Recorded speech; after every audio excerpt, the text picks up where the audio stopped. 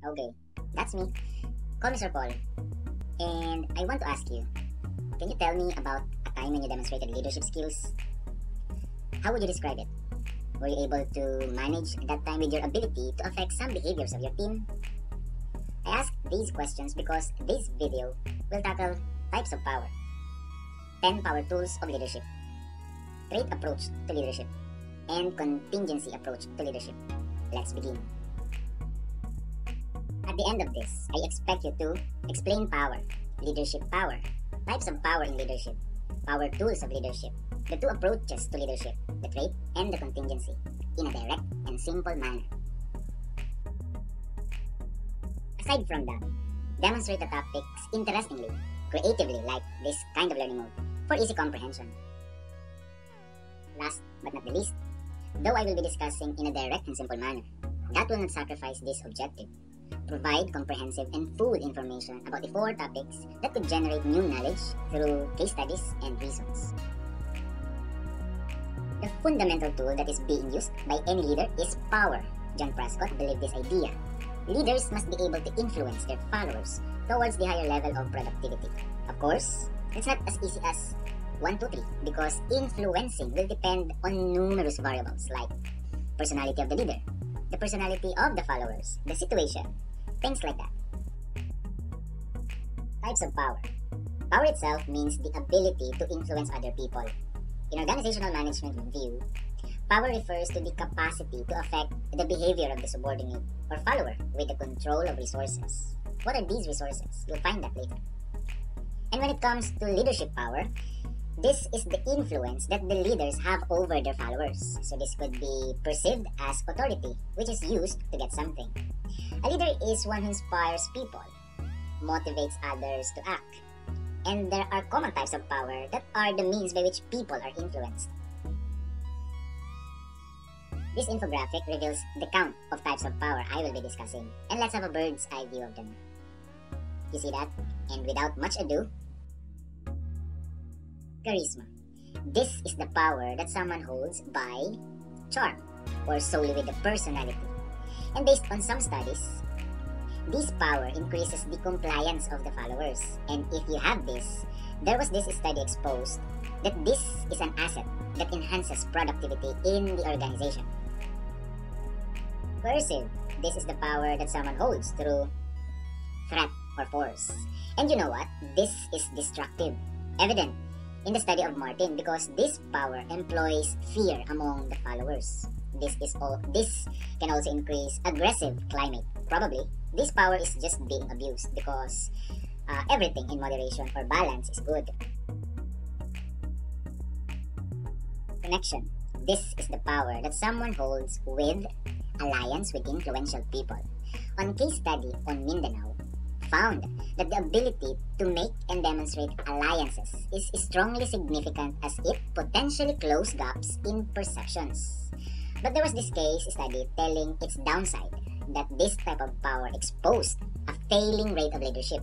So the case study is not a short-term case study, but the study was studied for three years or more. So the extent that results exposed kinda solid. Expert this is the power that someone holds with a set of the skills others don't have. Some studies reveal goodness of this as this motivates the followers to effort for greater performance. But sad to say that this type of leadership is commonly lacking to public service leaders in the developing countries. I know, the Philippines is part of that, and we can do something about it. Information. This is the power that someone holds through possession of the information. Not much studies about this, but I found one.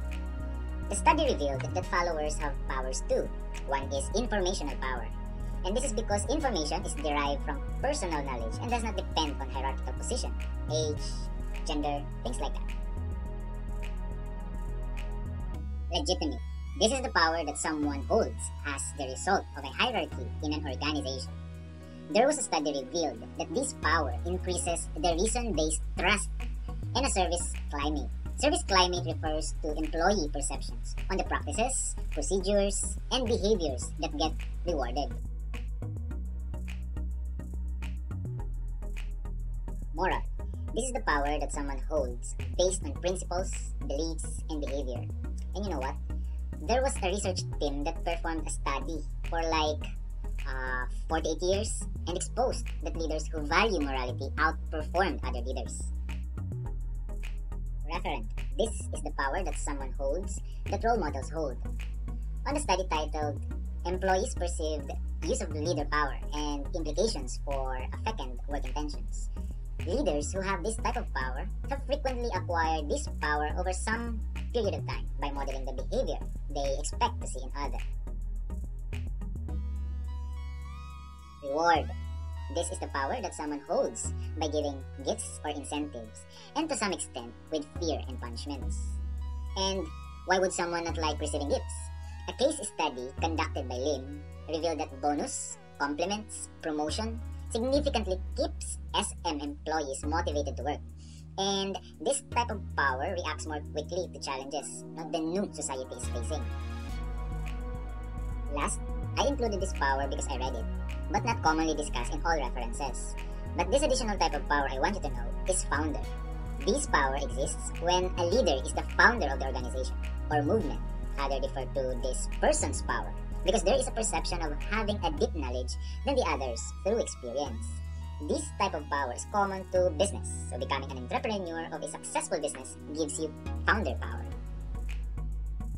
And those are the types of power of leadership charisma, coercive, connection, expert, information, legitimate, moral, referent, reward, and founder. Probably, there might be a little confusion on the difference between the leadership power types and tools, but types are preferred characteristics that a leader would like to be, while tools are just like aid or support used by the leader to carry out his or her particular function as a leader. And here are the 10 power tools of leadership. Let's start with the power of appreciation. This acknowledges the good work of the follower. It confirms that the effort is valued. When the work is valued, the performance increases. And this power a leader gives to followers gives energy and motivation to work harder and do more. The power of apology. This is an important ritual. It shows respect and empathy for the wrong person. When the leader makes a mistake, true leader takes personal responsibility above saving face. A real leader step up. A sincere apology can heal injury, and it can also raise credibility and build trust. Hmm, the power of choice. It is a powerful word because it has an effect or a return. It avails a person. Effective leaders understand that we positively influence the outcomes of our choices when we constantly remain aware whether we are reacting or responding the power of collaboration. This expands the system. It enlarges the leader's reach. Instead of just being able to tap into a limited network, there is this access to collaborators network. There will be surely a good return for the work. The power of critical thinking. It is a mode of thinking where there are analysis and assessment to see if the response will be valid. This power will help a leader to identify and reduce risks the organization is facing. It will assist a leader in identifying opportunities to reach the strategic goals. The power of encouragement is the act of cheering somebody to do something. It allows the leader to give support, confidence, or hope to followers, or to give advice so that they will do more, or continue to do the work. Aha! The power of laughter. This boosts followers' engagement and well-being. This helps relieve stress and spurs not only collaboration and creativity, but also productivity and analytic precision. The power of love is pure and decent. It has the ability to heal. When the energy of love takes over, struggle is futile. Leading with love means knowing and caring what inspires and empowers followers. Ninth, the power of optimism is the power to hope. It is a hopeful and positive outlook on the future, on yourself, and the world around you. It is a key part of resilience, the inner strength that keeps a leader to get through hard times. Last but not the least, the power of resilience adapts well in the face of adversity, tragedy, or significant sources of stress. A leader with this power can recover well from tough times in order to continue the leadership. Let's recap. The 10 power tools of leadership are appreciation, apology, choice, collaboration, critical thinking, encouragement, laughter, love, optimism, and resilience. On approaches to leadership, it is quite easy to look in hindsight, or probably by mere observation, at how effective a leader, probably based on accomplishments a leader gets. But determining whether or not someone will be an effective leader is a different story. It's a difficult task. And to help organizations select the right person to uh, lead or for the leadership role, numerous scholars have come up with ways to describe and explain leadership. According to the book titled Leadership, A Communication Perspective, 7th edition, by Michael Hackman and Craig Johnson, the traits approach and the situational approach, one is contingency approach, are two of the five leadership approaches that evolved in understanding and explaining leadership. Study will show that there are differences or like gaps of traits between millennial leaders and older subordinates or followers. On how do millennial managers lead older employees, it exposed that to resolve conflicts with older subordinates, the importance of soft skills in leadership and strong sense of respect are some attributes to be considered by millennial leaders. Another study revealed that Gen Z employees have current leadership traits like technology-based traits and communication traits that are needed to be accepted to face organization several issues as the recent generation enters the workplace. On contingency theory case study, it was revealed that using the theory, it resolved a difficult situation that puts the director of gallery art to choose among the three people best fit to be the new manager in the expansion of the gallery. It determined which person was the best fit for the position, the tasks, the personnel who will work under the director. First approach to leadership is trait approach. This is actually one of the earliest theories. This approach looks for a series of physical, mental, or personality traits that effective leaders possess. This concentrates on the idea that great leaders are born with the given abilities and not a learned ability. Individuals are brought into this world with all of the characteristics needed to become a great leader. So if you are not born with specific personality traits, in this approach, you are not destined to be a leader. Here you will see a lot of traits, characteristics, attributes, or personality of a born leader under trait approach. From those given traits that are mentioned, as researches on book titled An Introduction to Organizational Communication by Wrench and Punyanunt-Carter, we can start to see that research has found a variety of different traits associated with leadership over the years. Notice that there is overlapping but each list is clearly unique. In fact, one of the fundamental problems with this approach to leadership is that research has provided a never-ending list of personality traits that are associated with leadership. So, no clear or replicable list of traits exists. Moreover, Dean Lord researchers on leadership argue that an individual's personality traits may impact how they behave within specific leadership situations but that specific personality traits may not be seen across all leaders in all leadership contexts. In that case, the trait approach becomes more out of date and this opens to new approaches to leadership. Said, one major problem with the trait approach is that no definitive list of leadership traits exists. Due to the large body of research, countless traits are present which makes it more difficult to determine which traits make the most effective leader. So new approaches to leadership came in. These new approaches theorized that leadership was contingent on a variety of situational factors like tasks to be completed, the relationships uh, or interactions between the leader and the follower, and followers' motivation or followers' commitment, things like that. These new theories of leadership are commonly referred to as the situational approaches. And while many theories of leadership fall into this situational approach, only the contingency approach will be briefly discussed here. Contingency approach to leadership was created in the mid-1960s by Fred Fiedler. Fred Fiedler was a scientist who studied the personality and characteristics of leaders. This approach focuses on how specific situations affect a leader's effectiveness and how a leader's ability to adapt can be their most tool in the organization. Moreover, The approach states that there is no best style of leadership. Instead, leaders' effectiveness is based on a situation. And this is the result of two factors leadership style and situational favorableness. The first factor is leadership style. Fiedler believed that leadership style is fixed and can be measured using a scale called LPC, which stands for Leadership Preferred Coworker Scale. Now, you need a table to score yourself on the LPC scale. What is this table?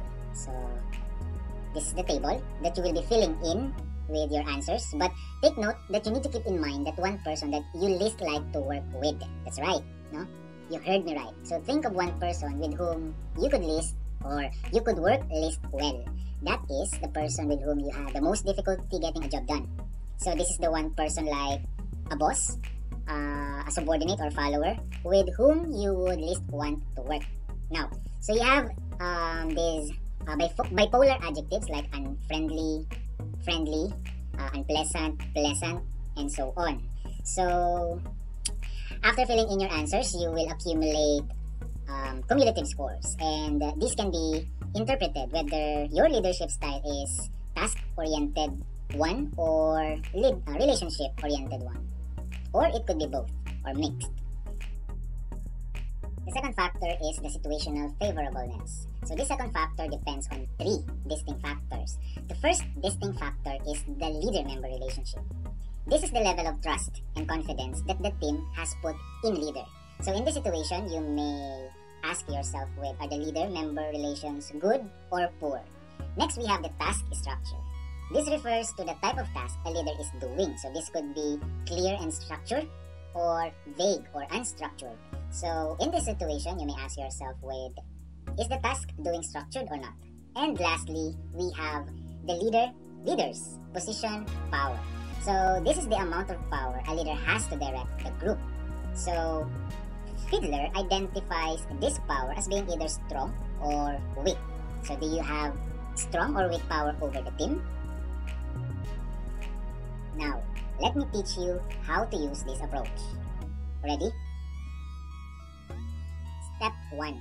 Identify your leadership. Remember the LPC scale I presented a while ago? Use that to arrive or generate a cumulative score. Now, how do we interpret the score? So when your score is like 54 or below, you are considered task-oriented leader you are still effective regardless whether the factor are favorable or not. Next, if you score like 73 or higher, you are a relationship-oriented leader. So you are like people-focused leader. Now, how about if your score is found between 55 and 72? They are considered middle LPC scorer. This means the leader could have task-oriented or relation-oriented tendencies. It's like mixed. Step 2. Identify the situation. So you may answer the following questions. First, are the leader-member relations good or poor? Next, is the task doing structured or not? Next, do you have strong or weak power over the team? Step 3, having the first two steps, they are put together to describe the leader. So, practical examples would be a search contest. So this contest is the best LRMDS implementer, where your team is supposed to produce locally developed learning resources. So you have not worked with this team for more than two months, let's say, and know that you are not normally open with them. So the leader member relations are therefore poor. Now, the amount of information you have about the criteria or mechanics of the contest is not sufficient and therefore the task is unstructured. However, you have strong positional power which you can use to direct and manage the team. In this case, you would be the best kind of leader if you you are a high LPC leader. Note, if your leadership style doesn't match the situation, that's it game over. You need to be replaced and there's nothing you can do about it. So this is actually a disadvantage of Fiedler's contingency model. But interestingly, In Fiedler's approach, anyone can be a leader. The only reason a person would be replaced is if the situation is unfavorable to the particular person's LPC rating because you are thinking that one person that you least like to work with. So if that choice changes, there's a greater chance it matches. And the contingency approach is fairly straightforward in prediction. Leaders are described as task-oriented and relationship-oriented. So those who are task-oriented will do better where the environment's tasks are better structured and those who are relationship-oriented should be placed in situations with less structured tasks so anyone can be a leader. In all, Power can be defined in several ways. However, what is important is the practice of the power by leaders who own it because this power influences the motivation and performance level of the followers, as evident on different studies presented. As we progress in our career, we will certainly become leaders. All we need to do is to prepare ourselves by sharpening our skills and working on self-development. Alright, I have some questions for you and these are from the situation you have now, what power or powers do you see or experience from your leader? How that leader manages the leadership power or powers she or he uses to you? Consider this. Certainly, some principals as leaders are possessing traits that are not ideal. Ideal, a concept or standard of perfection we picture in our mind. How do we manage such behavior? Thank you so much for watching. I hope you got something useful and whatever it is, you are now better than a moment ago.